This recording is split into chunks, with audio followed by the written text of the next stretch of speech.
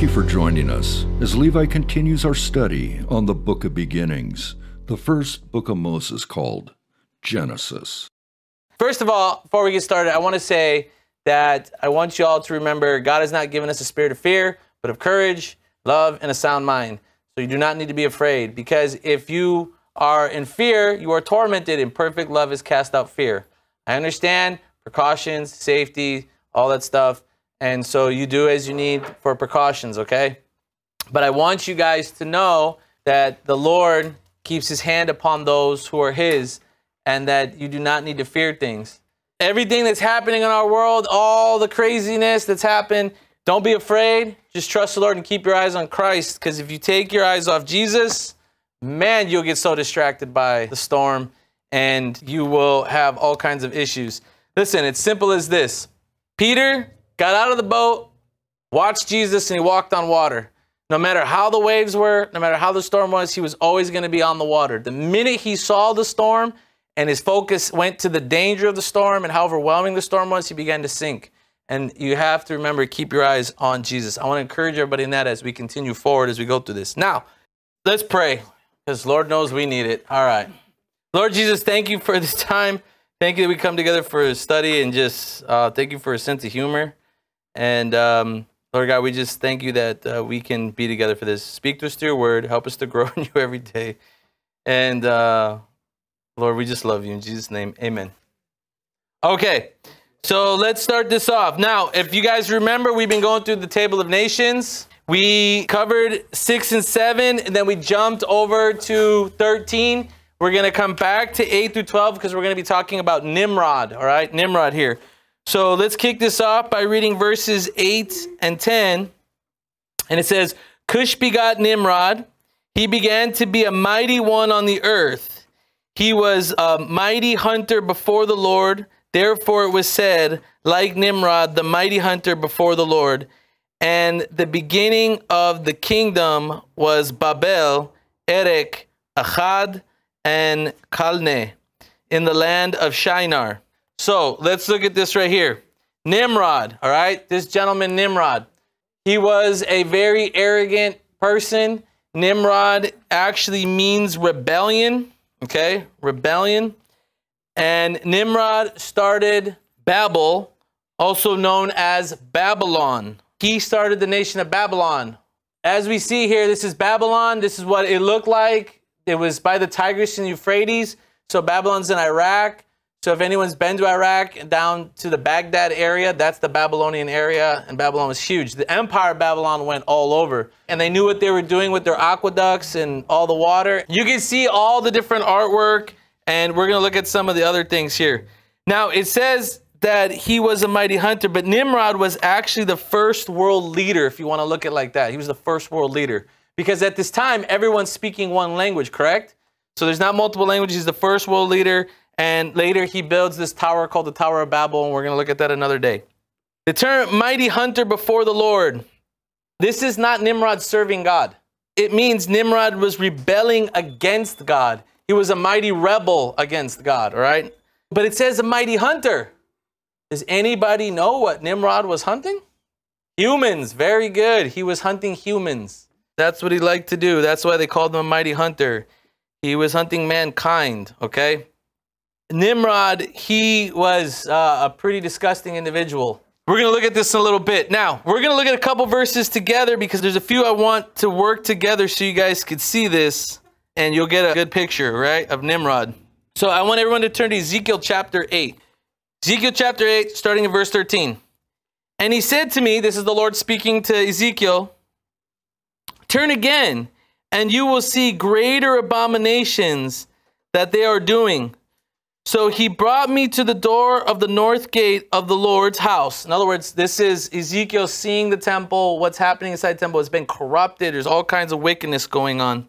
And he says to the Lord's house, and to my dismay, the women were seating, were seating weeping for Tammuz. All right, so we're to look at this Tammuz character. But you got to understand what was happening. They were in the temple at this time they were doing all kinds of disgusting things. They were worshiping the sun. They were using incense to make it look like the prayers, but it was for the sun. There were all kinds of sexual perversions going on in the dark. there was just disgusting things, and the glory of the Lord was departing from the temple. It's called Ichabod in Hebrew. You ever heard that term, Ichabod? You ever heard of Ichabod Crane from the Headless Horseman? Ichabod means the glory has departed. Never name your child Ichabod. It is not good. You're naming him the glory has departed. All right? You're cursing him. Ichabod. You'll never look at that the same way again, all right? Ichabod, the glory's departed. And so when this happens, Ezekiel is seeing the cherubim. They're there again, just like in Ezekiel chapter 1, and he's recognizing the four faces, but now there's one with a staff and a rod, and it's marking the individuals that are of the Lord with the symbol of Tav, the ancient symbol of Tav. Do you guys remember that from the Hebrew class? What's the ancient symbol of Tav? Cross. The cross, the ancient symbol of Tav. So he's marking a cross on their foreheads to seal them in the Lord. And all the ones that didn't have the cross sealed on them were going to be wiped out by these cherubim. They were going to come through and kill everyone, right? But notice here, they are worshiping Tammuz. They're weeping for Tammuz. So let's take a look at this. This Tammuz character, right? What we see here, this is a rendition. And this woman right here, her name is Semiramis. And it's spelled S E M I R A M I S.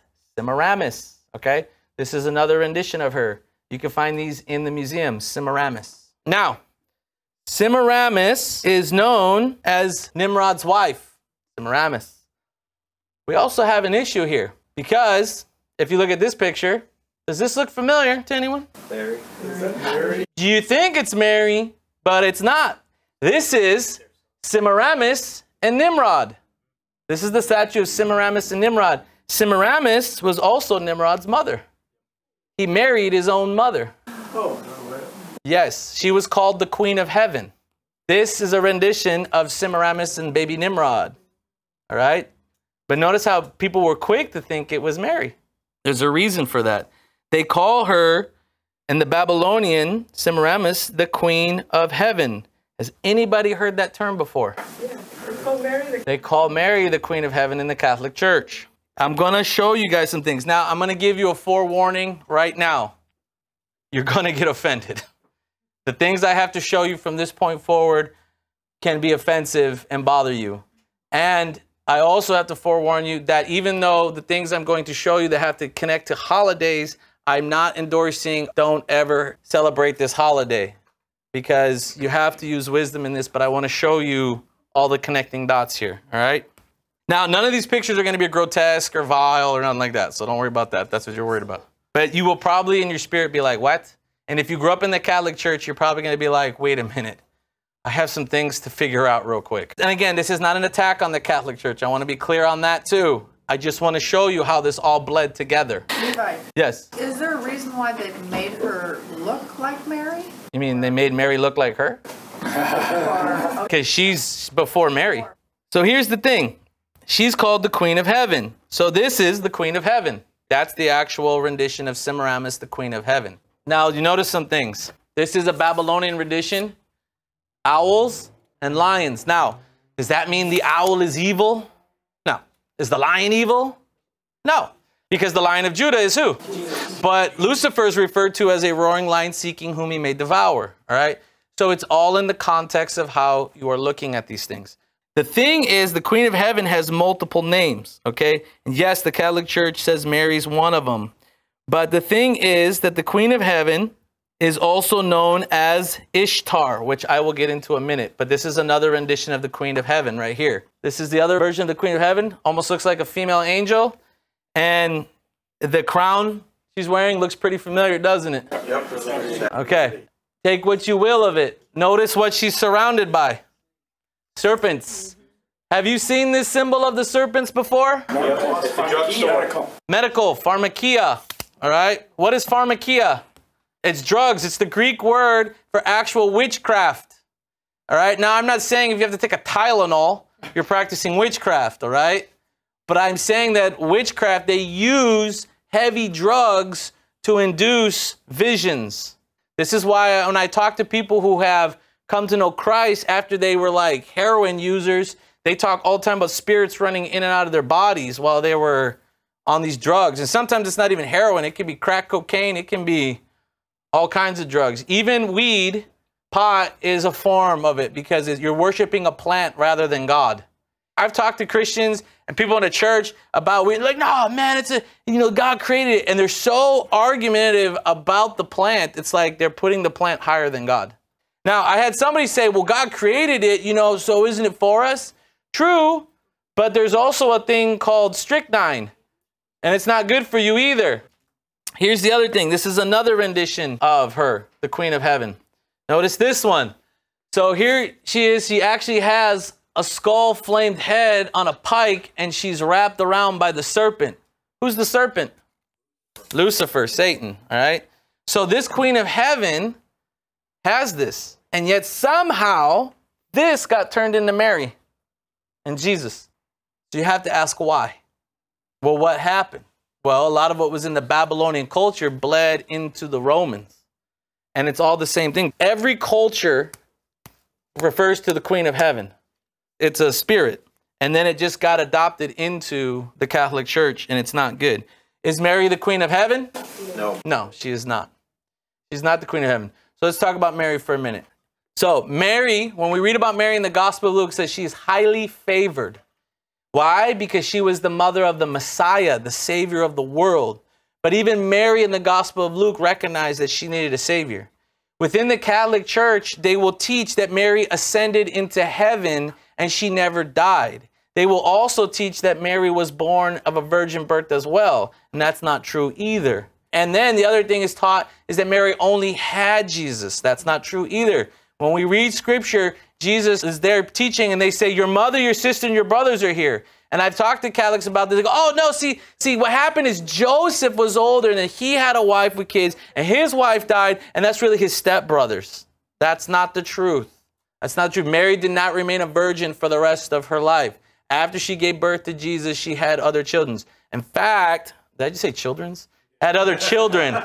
Wow, my Hispanic came out. My bad. All right. So, Jude and James. so yes, Jude and James are the brothers of Jesus and they're writers of the gospel, right?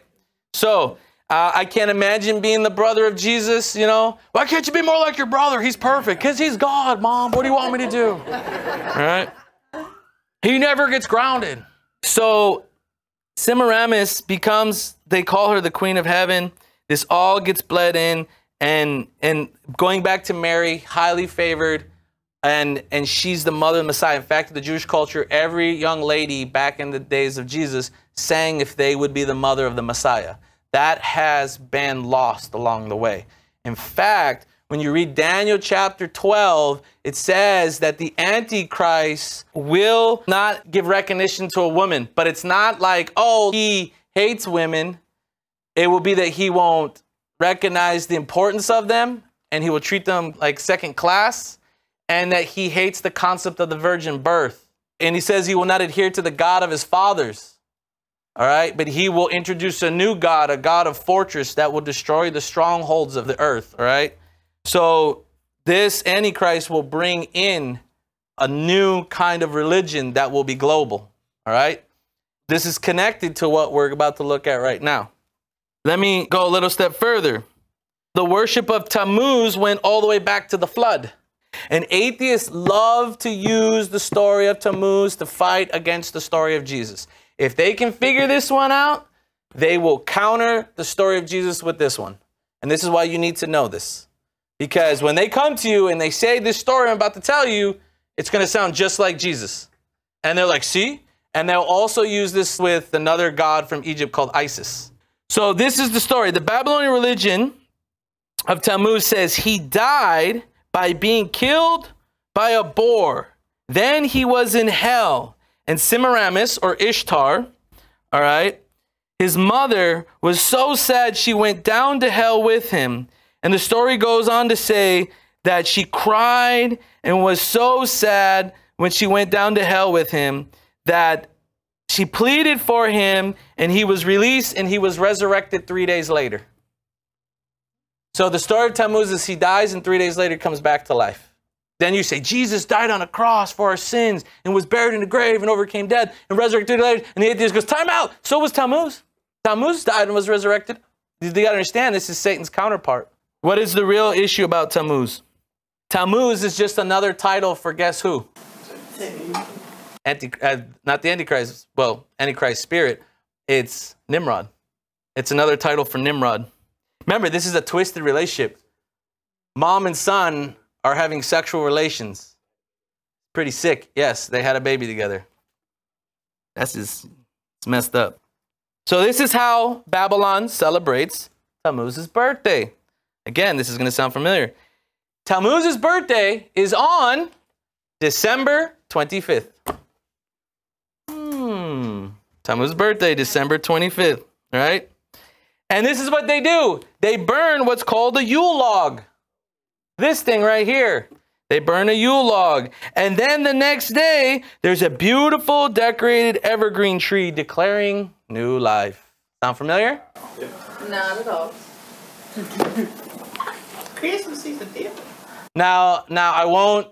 This is why I'm saying use wisdom, because I'm not advocating for like, oh my gosh, are you saying we should never have a Christmas tree and give gifts? And that's not what I'm saying. But you need to know the origin of it. The origin of it comes from Tammuz's birthday, December 25th, because Jesus was not born on December 25th. If you read the Gospel of Luke, all the clues are in there when he's born. And that's why these are why the names are so important. So when you're reading Chronicles and all those, you're like, why are these names and I can't pronounce them and why? This is why. Because it tells us that Zechariah is of a certain line that at a certain time of the year has to go into the temple to do incense for the prayers of the people. What happens to Zechariah when he goes in there? He meets who? Gabriel. Gabriel, who tells him He'll be having he'll be having a son who goes, How could this be? I'm old. And he goes, Here's a sign. You won't be able to talk to your son's born. Then you can start a countdown. And then what happens is Zechariah's wife, Elizabeth, is six months pregnant. Who comes to visit? Who is pregnant with who? Jesus. And you get a countdown from there, and you find out Jesus is actually born on Sukkot, which is the Feast of Tabernacles in October, right around October 8th fulfilling prophecy. fulfilling prophecy because it's the first and second coming celebration. What happened is the Romans took it when all of a sudden it's like, we're a Christian nation and we're going to do that. Okay, we're going to take all these teachings and we're going to take all that Babylonian, we're going to take all the Druid stuff, and we're all going to mix it. December 25th, that's Jesus' birthday. It's actually whose birthday? Tammuz. Who's actually Tammuz? Nimrod. Nimrod. For all you who I felt that I've crushed your Christmas dreams, sorry. Sorry, grandkids, no Christmas for you this year. No. Again, I have seen the extreme of this. I have seen where where churches have a Christmas tree and there's people who are like, "We can't go to this church anymore. They have a Christmas tree." Why do they have the Christmas tree? Do they even know what this is about? Now, I would be more concerned if you showed up to your church and the pastor's like, We decorated this beautiful Christmas tree front. Now, today, as we sing, Come in your glory, Lord, we're going to bow to it. Then I would say, Bounce out. You have a problem. All right? Use wisdom in the whole thing because the actual celebration in December that is in the Jewish calendar is Hanukkah, the Feast of Lights, which is in John chapter 10, which Jesus actually celebrated when Jesus said, I am the light of the world. He pointed to the giant menorah, all right, saying it's him. The menorah reflects, which is this, reflects Jesus. When he says, I am in you and you and me, and the vines who are in me, we are one, he's the center. We're all connected in. Here's another thing. So now we're talking about the birthday, the Yule log, the evergreen tree. But here's where it goes a little further. So then they have another celebration that's in the spring where they do this and they color eggs. Okay? Eggs being the symbol of life. It's to celebrate Ishtar. And that's where we get the bunny. And no, he will not kill you, nor does he guard a cave. For all you who know what that is. All right, now, Ishtar is where we actually get the term Easter. That's why it's Resurrection Sunday, not Easter Sunday, because when it's Easter Sunday, you're saying it's Ishtar Sunday. You're giving knowledge to the Queen of Heaven, who is actually Semiramis, who is the mother of Nimrod. It's a Babylonian practice. And you know what? I know people who will try to counter these arguments left and right. What I found is when I talk to them, what they really want to say in between the lines is, but I love chocolate bunnies.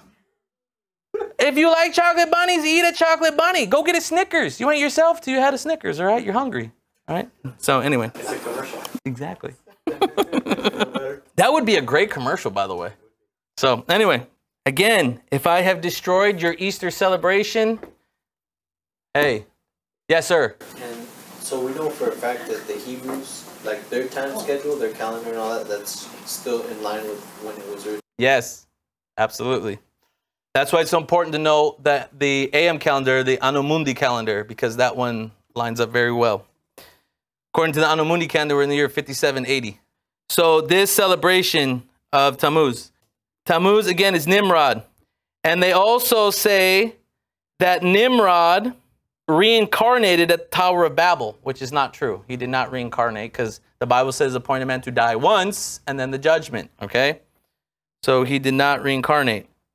So, but this is where this origin comes from, right here. Tammuz has ties to the ancient mystery cults as he is portrayed as the offspring of an angel. That would make him a what? Nephilim. A Nephilim. All right. So this brings up the question Was Nimrod a Nephilim?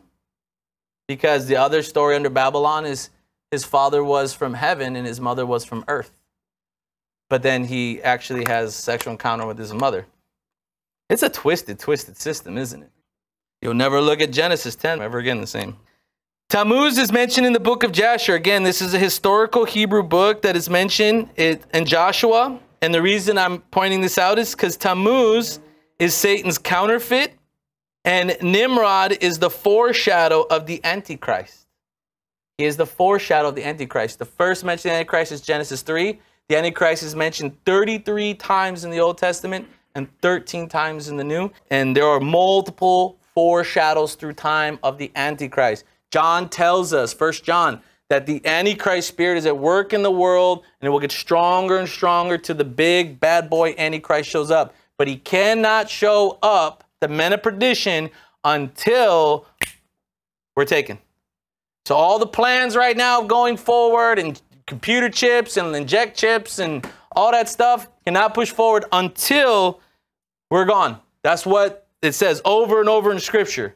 You got to know it, settle it in your heart, or you're gonna be troubled over and over when you see things. See, the thing is that tribulation brings perseverance, and perseverance, character, and character, hope, and hope in Christ doesn't fail. Jesus said we will go through tribulation, not the tribulation. All right? And so the thing I'm getting at with this is there's constant foreshadows. Nimrod was one, Antiochus Epiphanes was another, Hitler was another, Mussolini was another.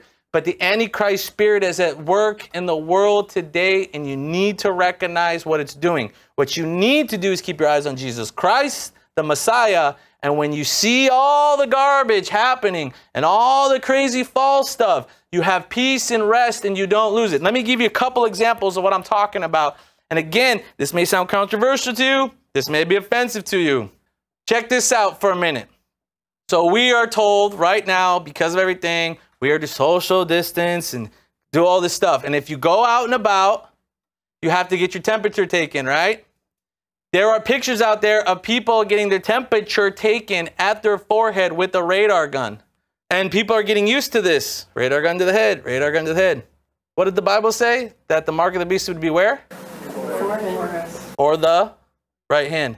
But if I got you conditioned to constantly have something put to your head to check you, by the time it's time to check what the mark is, you're going to be like, oh, yeah, we remember this. We had to do this with COVID.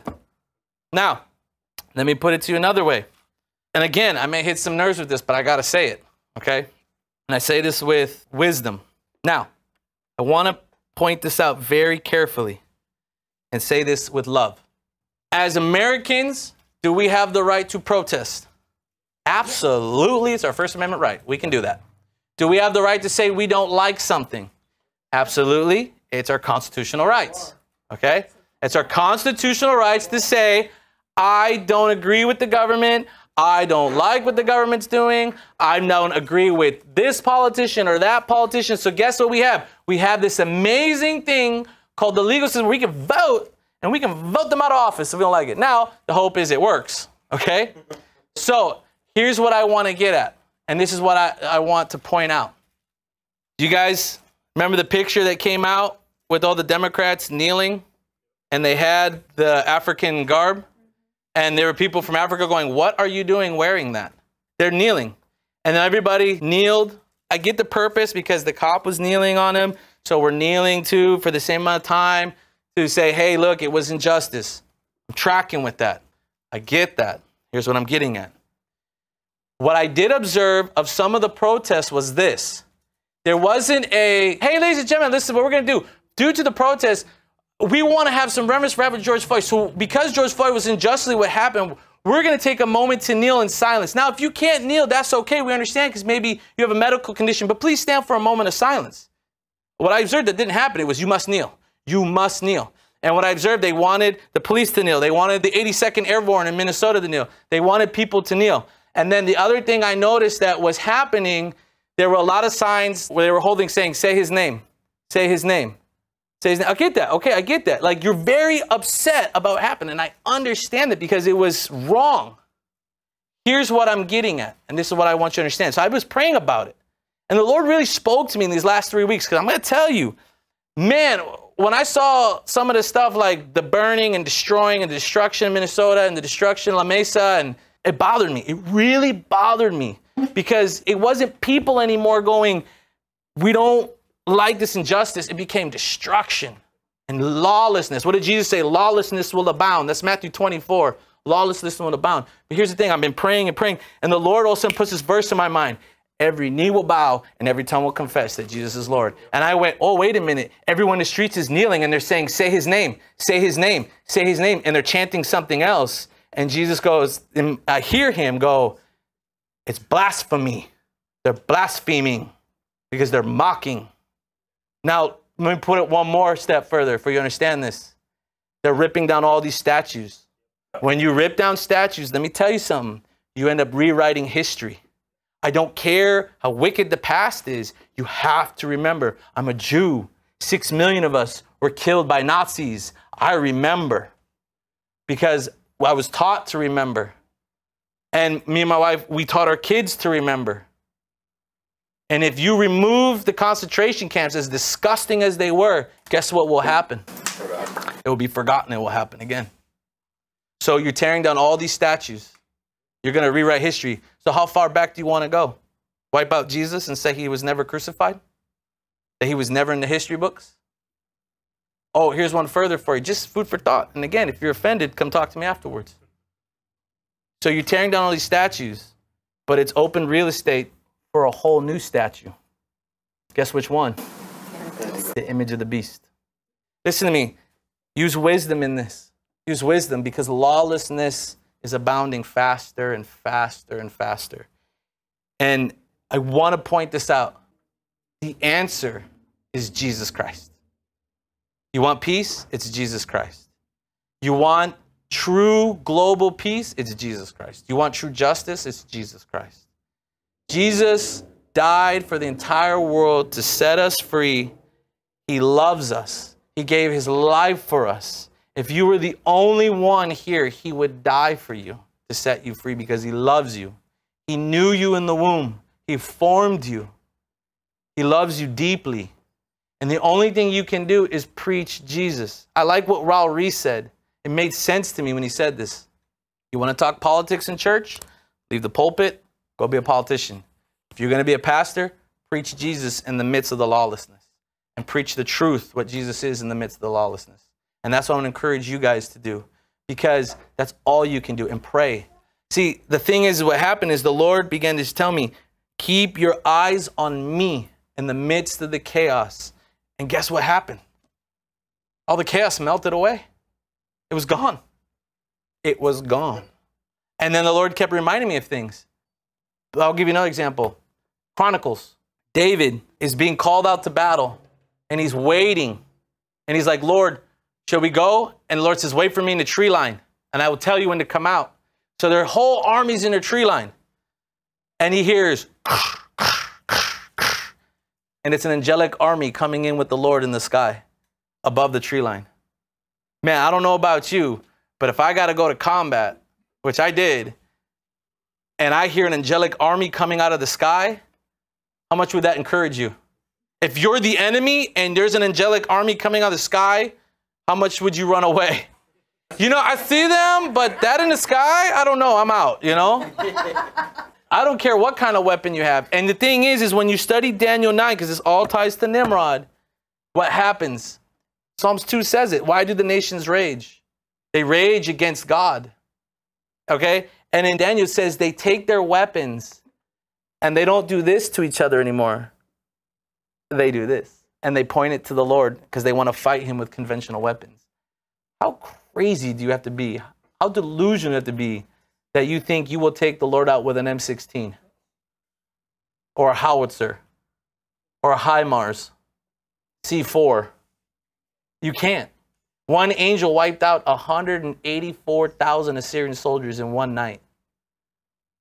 It's crazy, huh? Now, listen. So, what I also want to encourage you in is this I want you, and this is what I've been doing, I want you to pray for what you're seeing. You see the chaos? I want you to pray for those in the chaos. Because there's this guy, I don't know if you heard of him. He was doing a lot of chaos and killing a lot of Christians in the name of God. And then he got knocked off his donkey on the road to Damascus. And, and then he wrote two thirds of the New Testament. He was just doing chaos. There could be a Paul in the midst of that chaos. And I believe that the Lord Spirit is moving on the people to draw them out to come to them because every generation has this. Be the light in the darkness. All right. Now, I want to get back into this, how it's connected. So, Nimrod foreshadows the Antichrist. And what I'm telling you right now is we're seeing the Antichrist movement and spirit getting stronger and stronger. Satan places his counterfeit in Babylon. And this is why we see Babylon known as the false religious system. Nimrod begins to build and conquer. And in the year 1928 on the AM calendar, the Anno Mundi calendar, is when he does this. It only takes 271 years because they have longevity of life from the end of the flood for corruption to build an empire. 271 years. So from the time of the flood to the time of the corruption, 271 years. Not too long, right? How long has the U.S. been around for? How old's the Marine Corps? Less than 250. They were founded around the same time. 271 years, corruption kicked in. It was only in the last 60 years that the confusion of languages happened in the year 1988 on the AM calendar. And then Esau, it says in the book of Jasher that Esau, he killed Nimrod with the sword in the year 2123, making Nimrod 215 years old when he died because the longevity of life. Remember, they had longevity of life. This is how we look at some of the legends we're finding in some of the cultures. And we actually find out it's actually, they're talking about Shem or Ham. Like we talked about last week, the god, the Egyptian god, Amun Ra and all them, and the one that was actually Ham, the goat head one. Now, I want to point out something else here. So Nimrod, who had a wicked reign his whole life, I want to point out this comes from somewhere. So Ishtar here, according to the religion of the Babylonians, had a husband whose name was Marduk. Marduk, M-A-R-D-U-K. You laugh, but this is Marduk. What does he got? Cherubim. He's a cherubim. Marduk. He's considered the god of Babylon. Marduk means the bull calf. What did Israel worship in the desert after Moses went up on the mountain? Golden. The golden calf. So Marduk actually means the bull calf. That's the symbol of Marduk right there is the calf. It gets even better. Marduk had another symbol. It was the symbol of the serpent dragon. Who's the serpent dragon? Satan. Who's actually Marduk? It's Lucifer. It is actually Lucifer. So the god of Babylon is Lucifer, Satan. And when we fast forward to Revelation, it says that the whore of Babylon rides on a beast and all the world drinks of the cup of her fornication. See, it starts in Babylon, it ends in where? Babylon. And no, New York is not Babylon, nor is DC, nor is America. Babylon is in the Middle East. The thing that happens is we as Americans, this is what we love to do. We love to go, oh, you mean the United States is the center of biblical world? No. You mean, see, see, Jesus can't come back until the United States collapses because we haven't been persecuted. And, and the Bible says, woe to America.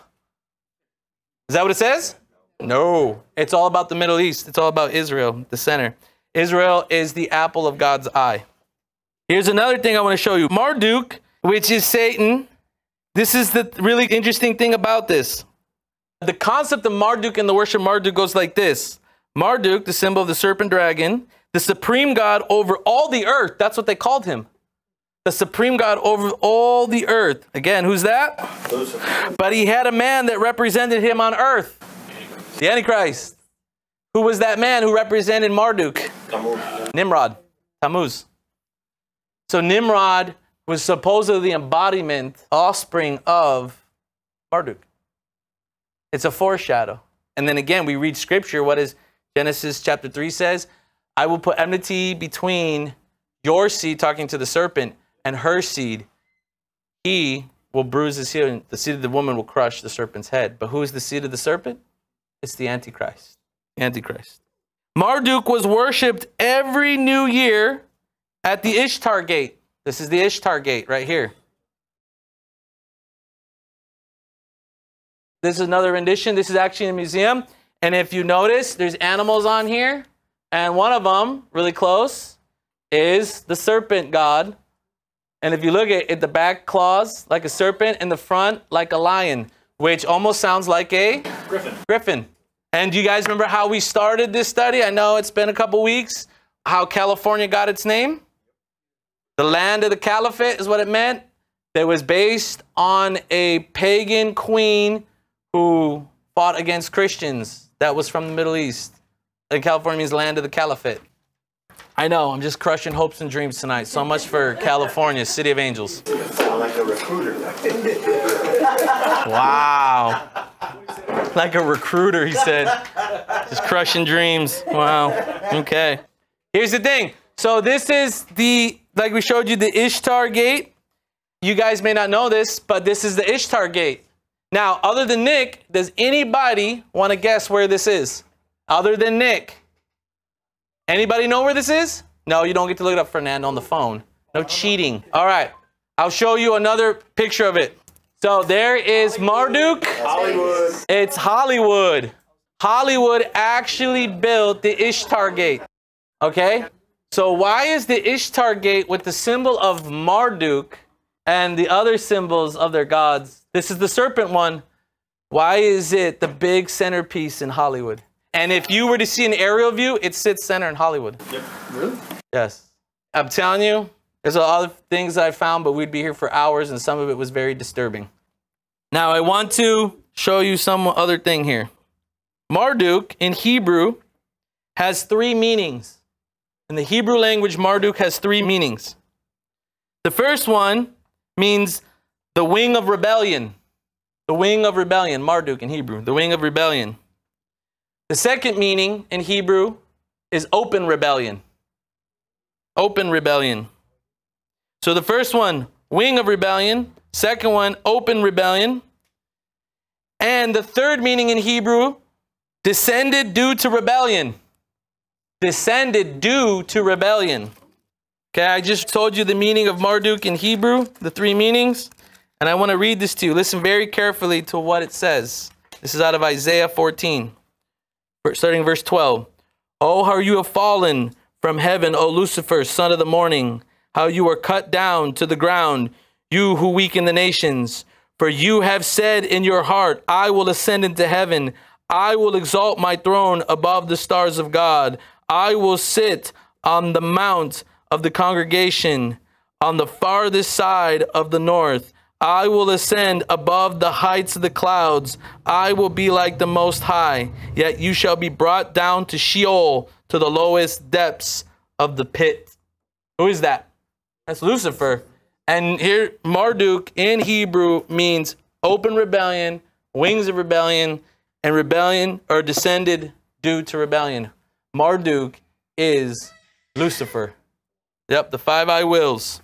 Nimrod means rebellion. Marduk, rebellion. Nimrod was a mighty hunter. In other words, he rebelled before God and he hunted humans. He hunted humans for sport. He was a foreshadow of the Antichrist. That should bother you just a little bit or a lot. Why? Because if he's a foreshadow of the Antichrist and he's hunting humans, what do you think the Antichrist is going to do? Hunt humans. Guess who he's going to hunt? The saints. The saints.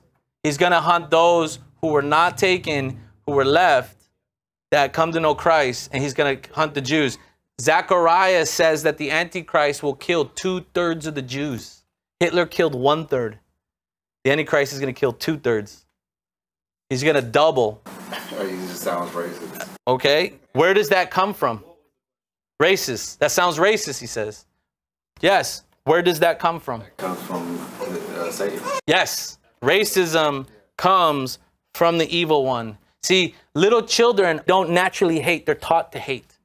Look up uh, the PLO or Hezbollah or them when they're up against the IDF and they want the little kids to hurt the IDF. They don't know what to do. The little kids go up there and high five them and shake their hands and wave flags. And they come back and they have to teach them, throw a rock at them. They have to be taught to hate. Now, sin naturally happens. Like you don't have to be taught to lie. You will naturally lie as a kid. You will naturally you caught. You were like, no, I didn't. Did you eat a cookie? You have like chocolate like this. no, man, I didn't eat anything. No, I didn't. I didn't touch no cookie. You didn't touch any cookie. No, what's that on your face? Oh, you know, I fell. It was some mud. You know, That's from yesterday. yeah. But to hate, to learn to hate an individual, that's taught. And that concept comes from Satan. What did Jesus say? Jesus says, if you look at your brother with hate in your heart, you have committed murder. So let me swing this back around to a huge question. We have a massive injustice happen. Now I'm very upset and I'm going to go protest. That's my right. I can do that. I'm out there screaming out of hate. Hmm. Now I got a problem. I want to destroy property out of hate. Now I got a problem. What does the word of God say? If I have hate in my heart, I'm actually committing what? Murder. Okay, so this is going to really bug people. If an injustice, let's say, happens to Fernando, and we're angry about it, and out of hate, I take vengeance, what do I become? Murder. Even if I don't murder the person in my heart, I be, I'm a murderer. Yeah, vengeance is the Lord's. Let me tell you something. Flowing into you, it comes out to people that you love them.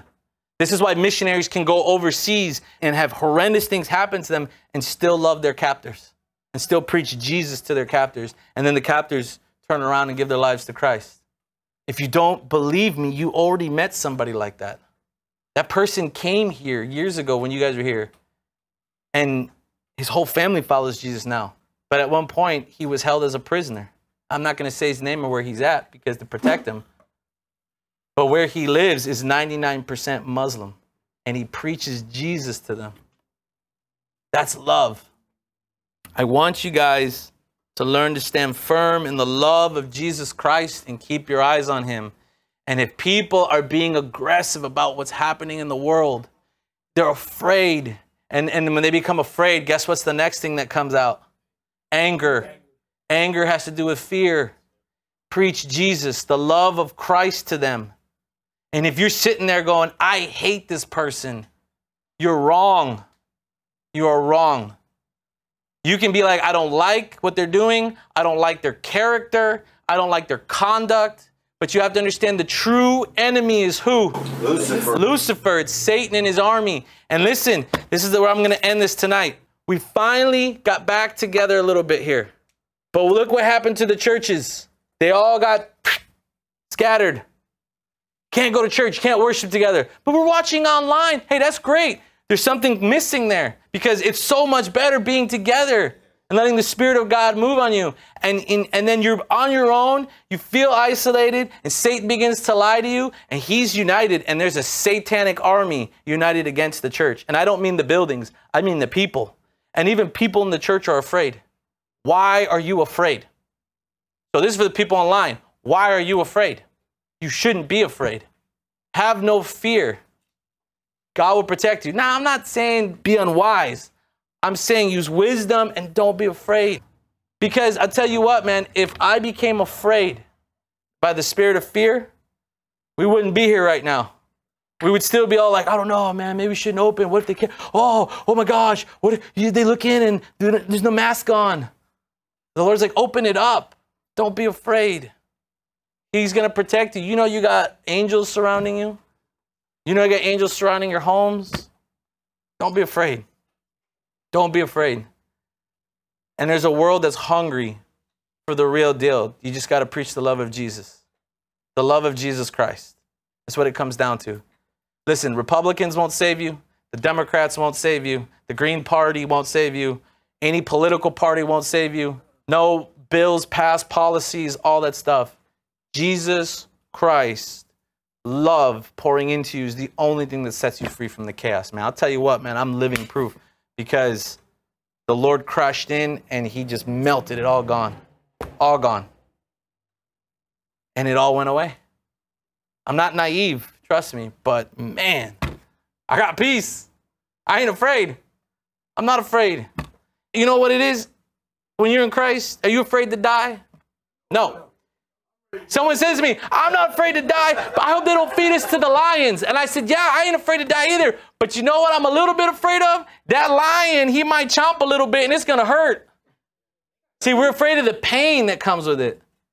Because a bullet through the head is fast. By the time you hear bang, you don't even know what happened. It's, you're with the Lord. You hear boom, and it's like, whoa. And God's grace comes upon you. And there's horrendous ways that, that people in Christ have died. You know, stoned to death, torn apart, shot with arrows, burned alive, fed to the lions, sawed in half. Isaiah was sawed in half with a wooden saw. Peter was crucified upside down after watching his wife be crucified. Picture that. You are a man of God serving the Lord. Your wife is being crucified in, in front of you. And the crazy thing is, is when they have the historical counts of what the Roman soldiers saw, Peter's words were, Remember the cross, remember Jesus. That's the encouragement he gave his wife. And then when they go to crucify him, he said, I'm not worthy to be crucified like my Lord. Crucify me upside down.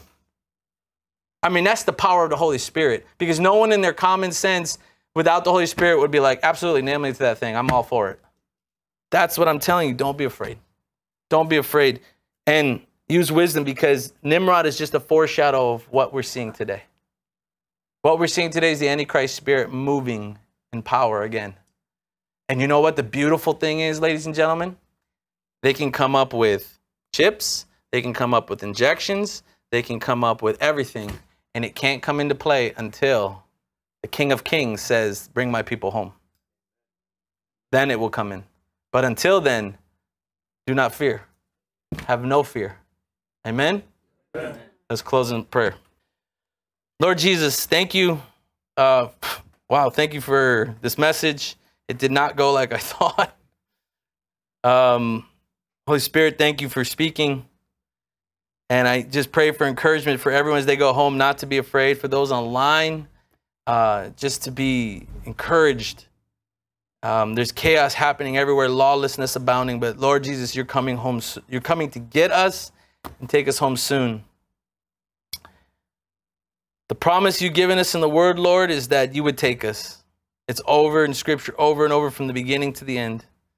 So, Lord, we just pray right now, you encourage, as we, we go home, encourage us, keep us strong in your word, keep us always focused on you, Lord. And those who have felt like they are hurting, that, that their fear has kicked in, we rebuke it in the name of Jesus. I, I want those people to know that the fear that's come over them, it's a spirit.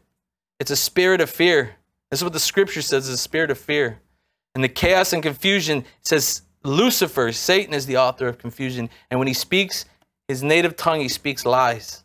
But Jesus said he's the way, the truth, and the life. And no one comes to the Father but through him. So, Lord, we pray right now. We rebuke that spirit of fear in this place. We rebuke that spirit of fear over the people. And Lord, we pray that you would begin to just radically move your spirit and draw in the last of the Gentiles, Lord, because the count is getting smaller and smaller.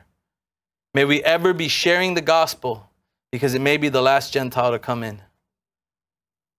So, Lord, we love you, we bless you, and we wait for your return. We pray you come quickly to get us. Thank you, Lord. Thank you for this place, and thank you for being faithful to a tiny, tiny place in this town. Keep your angels around us and protect us.